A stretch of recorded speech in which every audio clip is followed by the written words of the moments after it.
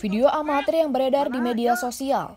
Korban berinisial AR, warga kecamatan Kebon Pedes terlihat babak belur. Diduga dikeroyok oleh warga di kecamatan Geger Bitung, Kabupaten Sukabumi. Korban sempat dibawa ke rumah sakit, namun nyawanya tidak tertolong dan meninggal dunia dalam perawatan medis. Korban disangka seorang pencuri oleh warga karena kepergok masuk ke dalam rumah, sehingga aksi main hakim sendiri terjadi dan membuat korban mengalami luka cukup serius.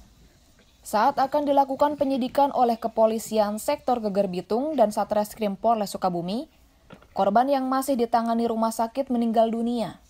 Kejadian ini membuat keluarga korban tak terima dan meminta kepolisian untuk membongkar makam korban di TPU dekat rumahnya di Kecamatan Kebon Pedes, Kabupaten Sukabumi. Proses ekshumasi dilakukan oleh tim forensik Rumah Sakit Sekarwangi Cibadak bersama kedokteran kepolisian Polres Sukabumi. Sejumlah bagian organ tubuh diperiksa dan dibawa ke laboratorium untuk diuji sampel. Pemeriksaan ini meliputi bagian lambung dan urin. Hasilnya masih harus menunggu satu minggu untuk diuji laboratorium Mabes Polri.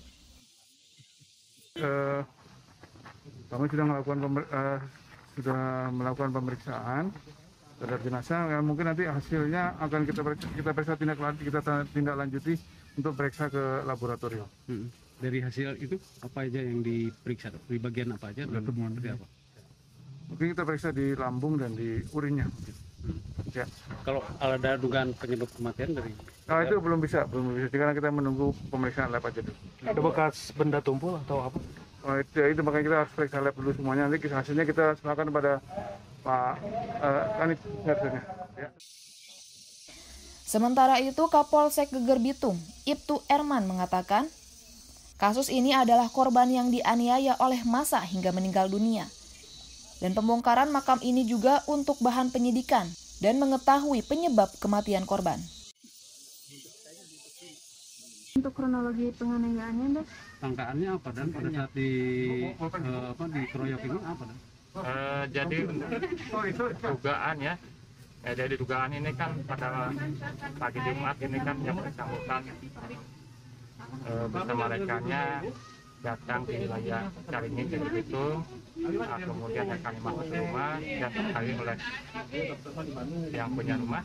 Nah sehingga melarikan diri akhirnya bicara rumah sehingga terjadilah masalah Kasus dugaan pengeroyokan hingga tewas ini masih dalam penyidikan kepolisian. Polisi juga sudah meminta keterangan sejumlah saksi dan kini masih dalam pemeriksaan. Andris Muhtar, Kompas TV, Sukabumi, Jawa Barat.